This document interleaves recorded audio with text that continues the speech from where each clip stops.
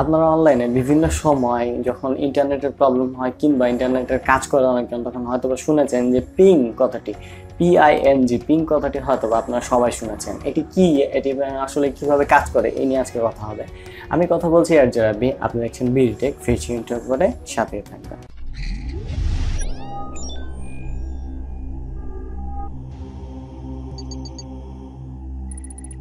যখন হয়তো বা আপনার ইন্টারনেট স্পিডের প্রবলেম হয়, তখন বেশিরভাগ সময় কথাটা শুনে থাকবেন যে পিং অথবা যখন একটি নেটওয়ার্ক যখন ডাটা আদান প্রদান করে, তখনও হয়তো বা পিং কথাটি শুনে থাকবেন।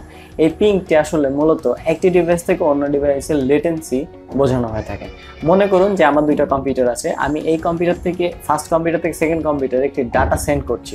সো এই ডাটাটি সেন্ড করার পরে যখন আরেকটা আমার সেকেন্ড কম্পিউটার যখন রেসপন্স করবে ফার্স্ট কম্পিউটারকে এই রেসপন্স টাইম কতটুকু, এটি বোঝানো হয়ে থাকে। সহজ ভাষায় আমি যদি আরেকটা এক্সাম্পল দিই, তাহলে হচ্ছে মনে করেন যে আমি এখানে দাঁড়িয়ে আছি এবং আমার থেকে দশ মিটার দূরে আরেকজন দাঁড়িয়ে আছে জাস্ট দশ মিটার দূরে। এখন আমি যদি ওই দশ মিটার দূরে আরেকজনকে যদি অ্যান্সার কোশ্চেন করি যে এখন কয়টা বাজে?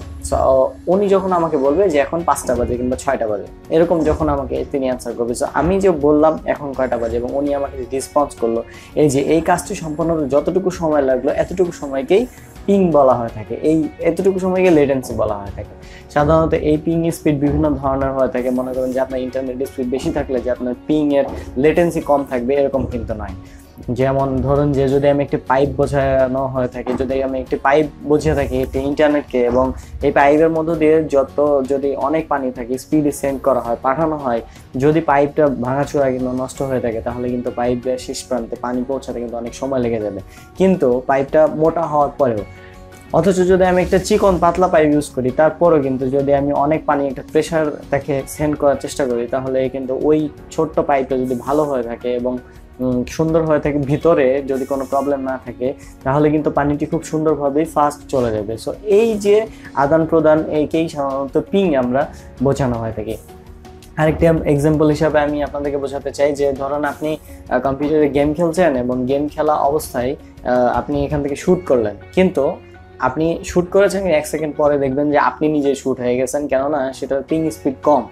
মনে করুন যে আপনার আপনি একটি ইন্টারনেট স্পিড নিয়ে রেখেছেন যেখানে হচ্ছে ফাইভ এমবিপিএস কিন্তু আপনার আপলোড স্পিড ডাউনলোড স্পিড সেটা পরের কথা। আপনি ফাইভ এমবিপিএস ইন্টারনেট স্পিড নিয়ে রেখেছেন এবং তার পিং স্পিড হচ্ছে ওয়ান মিলি সেকেন্ড কিংবা টু মিলি সেকেন্ড এবং আপনি আরেকটা হান্ড্রেড এমবিপিএস নিয়ে রেখেছেন যেটার পিং স্পিড হচ্ছে হান্ড্রেড মিলি সেকেন্ড অথবা টেন মিলি সেকেন্ড আমি ধরি। যে আপনি একটা ইন্টারনেট স্পিড নিয়ে রেখেছেন, সেটার মিলি সেকেন্ড হচ্ছে টেন মিলি সেকেন্ড সে পিং করে এবং তার ব্যান্ডউইথ হচ্ছে একশো এমবিপিএস এবং আরেকটা আপনি ছোট্ট এমবিপিএস নিয়ে রেখেছেন ইন্টারনেট সেটা হচ্ছে ফাইভ এমবিপিএস এবং তার তিন মিলি সেকেন্ড হচ্ছে ফাইভ মিলি সেকেন্ড তো আমি যখন অনলাইনে গেম খেলতে যাব কিংবা ডাটা ট্রান্সফার করতে যাব, তখন আমার হান্ড্রেড এমবিপিএস স্পিড থাকার পরেও কিন্তু আমার ডাটা সব থেকে ফাস্ট এবং দ্রুত কাজ করবে, সেটা হচ্ছে ফাইভ মিলি সেকেন্ডে কেন না, আমার হান্ড্রেড যে এমবিপিএসটা নেওয়া আছে, সেটাতে কিন্তু আমার পিংয়ের যে মিলি সেকেন্ড সেটা কিন্তু দশ মিলি সেকেন্ড কিংবা বিশ কিংবা একশো।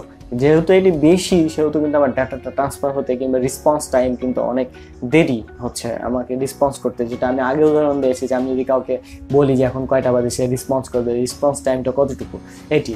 এবং যদি আমি ফাইভ এমবিপিএস এর কথা বলি, তাহলে ফাইভ এমবিপিএস কিন্তু অনেক ছোট, কম এমবিপিএস একশো এমবিপিএস এর তুলনায়। কিন্তু পিং এর যে স্পিড লিমিটটা সেটা হচ্ছে one millisecond so one millisecond যদি হয়, তাহলে যখন আমি এখান থেকে একটা ডাটা সেন্ড করব, সে রেসপন্স করবে, তখন কিন্তু সেটি অনেক ফাস্ট হচ্ছে। কিন্তু আমার এমবিপিএসটা কম। এমবিপিএসের কোনো ফ্যাক্ট না, যদি আপনার পিনের মিলি সেকেন্ড যদি ভালো থাকে, তাহলে কিন্তু আপনার এখানে আপনার ইন্টারনেট যে স্পিডটা কিংবা আদারওয়াইজ যে কাজগুলো করতে সেগুলো করতে কিন্তু প্রবলেম হয় না। সার্ভারে সাধারণত ডাটা ট্রান্সফার কিংবা আমরা ইন্টারনেট স্পিড আমাদের কম হচ্ছে না, বেশি হচ্ছে, এটা কিন্তু জানার জন্য এটি ইউজ করে থাকি। অথবা এই পিংয়ে সব থেকে বেশি আমাদের দরকার হয় অনলাইন গেমিংয়ের ক্ষেত্রে, কিংবা কল সেন্টারে যারা কথা বলে, তাদের ক্ষেত্রে। সো এই পিং আসলে আমাদের প্রতিনিয়ত ইন্টারনেটের নেটওয়ার্কের জন্য ব্যবহৃত হয়ে থাকে। আশা করছি পিং কি এবং এটি কীভাবে কাজ করে আপনারা বুঝতে পেরেছেন। এই ভিডিওটি ভালো লাগলে অবশ্যই ভিডিওতে লাইক দিবেন কমেন্ট করে আপনার মূল্যবান মতামত জানাতে ভুলবেন না এবং আমার চ্যানেলটা সাবস্ক্রাইব করবেন আজকের মতো এখানেই, সবাই ভালো থাকবেন। Till then tata.